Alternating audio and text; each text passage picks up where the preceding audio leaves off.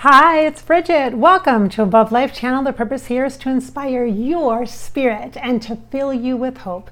Today, this video is going to be all about skeptics, skepticism, cynicism, why it's so hard to believe. Why is it so hard to believe nowadays? All right, so I'm going to start this off with one of the comments that was actually ca- caught by one of my spam filters on YouTube. Just so you're aware, if you are making comments on Above Life channel here at YouTube, there are some things that YouTube will catch, like any kind of links, some foul language, that kind of thing. So if you did make a comment and you don't see it, it might be because it got caught in their spam filter. So here's one such um, comment, and sometimes it just catches stuff it shouldn't catch. So it's kind of weird, but anyway, so here's the question. All right, I'm going to try not to be sassy because I really don't feel sassy. Well, yeah, I kind of do feel sassy about this, but I'm going to share this because I think it's a legitimate comment. It's about believing and really kind of about skepticism or cynicism. Are you for real? That's a comment. Are you for real? Yes, I'm quite real. Thanks.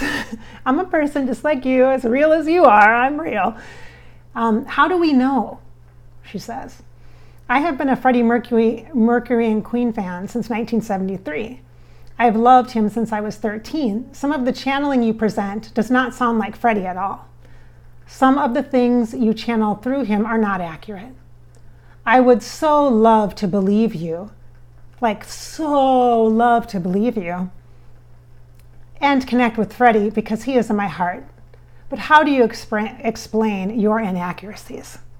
All right, so this happens a lot. Um, in comments too, people will say, I'm sorry, but, or they'll say things like, it's really weird. It's like passive aggressive a little bit. And I don't think that people do it on purpose. I think that that's just how they feel. Like they're, the feelings are coming out, like they're kind of arguing with themselves when they, they type it. Like it feels like this woman really wants to believe in the afterlife and understand that she could communicate with Freddie Mercury for herself. So it really doesn't have a lot to do with me, except for the fact that maybe because she found my channeling, it opened up the possibility for her. So then my work is done. We did it. She's asking questions, she's getting curious. That's a good thing, you guys.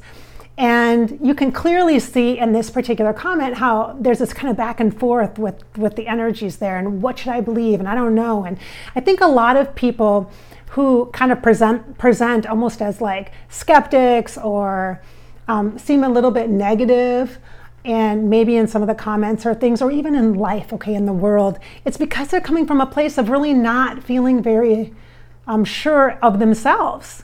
And it's not just like a lack of confidence. It's not that, you guys, because a lot of us are not sure of ourselves in different areas of our lives. There are t- parts of my life that I'm not sure of myself either. So it's natural, right? It's natural to have those questions or those self doubts. But we can't give our power away. We can't give our power away. You can't go to someone else and say, Here, take my life choices and make decisions for me. But so oftentimes we do because we need somebody else to blame or we need somebody else to be responsible because we don't feel like we qualify. We aren't smart enough to make our own choices or we don't trust ourselves. Don't trust ourselves to make our own choices, to change our values, to create our own belief systems. We don't trust ourselves. And it's not an easy thing to do either. Sometimes we're in a vacuum of other relationships that are feeding into the negative or our feelings of self doubt or inadequacy or worthiness. So I'm not really like upset by this comment. I can clearly see that there is a deep desire for her to have to be able to believe in the afterlife. And yet I also understand that it's not my job to convince people. Above Life channel is not created to change you, to make you believe, to give you proof and evidence and research based information or a full view of somebody's life. This is not a biography channel. It's not about the details and the, the specific facts. That's not what this channel is about. There are other channels and other great resources, journalism resources, and things like that, that if you want to learn about history of people, then you can go there to do that. And there are also other channels that are very spiritual based and religion based and, and that are all about helping people to find it in find their way to believing in higher power or finding their way to believing in a god or a source or a prime creator or whatever that higher power is that you would call like a god right a, a higher consciousness. And so but that's not what above life channel is either. It's to inspire your spirit to fill you with hope because this is your life so live it. So i'm not going to take on the responsibility to change your belief systems, but I will challenge them because of just the nature of the conversations I have. Because there's such a variety of celebrities that we talk to in the afterlife, and they give just an incredibly vast array of information and insight that we can use. Whether or not you liked that celebrity, it doesn't matter because that liking them or not liking them, approving them or disapproving them is a judgment piece that if you are doing that already and not watching a video because you didn't like that person, that should give you an opportunity for learning. You should get curious about that because that is resistance, my friends. That's what keeps you from being happy in other areas of your life. That resistance, that judgment, that, oh, I don't like them. They think they're too good. What part of you feels that way? What part of you are you actually criticizing in that feeling, in that thought? Because you are, you're criticizing yourself not that person. Mm-mm. It will block you and create barriers for you, and it's just an excuse for you to ignore your own life opportunities for advancement, for self development, and for personal growth. And that's your choice too. I'm not here to convince you that you should be a better person. But part of my job as a psychic life coach and as a psychic medium is to help you to feel better to acknowledge through awareness that you have the capacity to feel better. When you feel better, you do better. But you have to be willing to show up for yourself and build a relationship with yourself and trust your own intuition and open your mind in a way that allows you to create your life instead of being a victim or a follower of your life path experience. You can create it. Instead of giving away your power to other people to convince you of something to change your mind, you got to do it for yourself. You got to do it for yourself. That's where the power is. That's where the empowerment is. All right.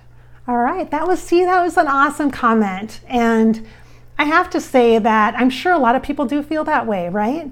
And if I had the power to change people's minds and opinions, oh, I should totally be running for political office. I mean, seriously, right? All right, all right. So, as far as um, skeptics or being skeptical, I think that people who present that way, I think that it just shows that maybe they're coming from a place of having a deeper desire to really want to grow or want to learn, or maybe they really just want to understand some things. And their life experience has created resistance, obstacles, barriers where they felt like they didn't have power or they were even in a victim mode. Maybe they've had some abuse or some pain or some experiences where they can't trust other people and they sure as heck can't trust themselves because it was their judgment that put them into relationships with other people where they gave a second chance, a third chance, a tenth chance, and they just kept getting hurt over and over again. So the skepticism comes from like a pattern or a cycle, a belief system that isn't isn't 100% healthy for that person, isn't isn't totally in support of that person's best, greatest good. Okay, that's where it's coming from. And so there's a part of all of us that have that, that push things away, that that that really, really want acceptance or really, really want to understand, but then also don't want to understand because then that means I have to change. And that might mean I have to be more accountable and responsible. And I already feel like I ha- I'm overloaded with life. So there's a lot of things that can create skepticism. But underneath that, there is a desire to want to understand, there is a desire to want to feel better.